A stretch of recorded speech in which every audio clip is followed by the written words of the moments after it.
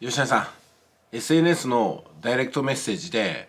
まあ、お客さんを募るっていうのも数の理論でいけばうまく当たると思うんですけども、まあ、そもそもねあのほとんどのダイレクトメッセージを送る人って知恵もないし数をやる度胸もないんですよね。だから結局その確かにダイレクトメッセージを100通200通300通の単位で送ると反応あると思うんですよ。でも多分ね20とか30で力尽きる人ばかりじゃないかなと思いますよねだから結局あの接客とか集客の質を上げていくのかそれとも数の理論でパーセンテージで当てに行くのかその両方とも選択できないんじゃないですかねでちゃんと中身のある人って質もよくできるんだけどもその前に量をやることを覚悟してるってことなんで結局どっちでもうまくいくんじゃないかなというふうに私は見るんですけどね。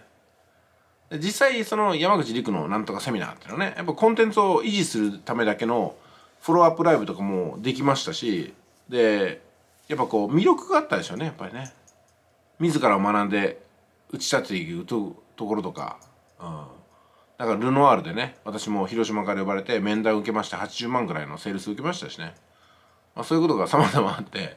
うんまあ、結局量をやれる人は質も上げられるし質を狙える人は量もできるしみたいなところかなと。でほとんどの人は両方できないみたいなね、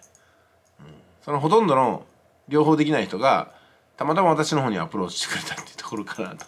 私からの逆セールスをねあのー、やられたらひととまりもないと思いますね、うん。まあ、やってみようかな。じゃあお疲れ様です。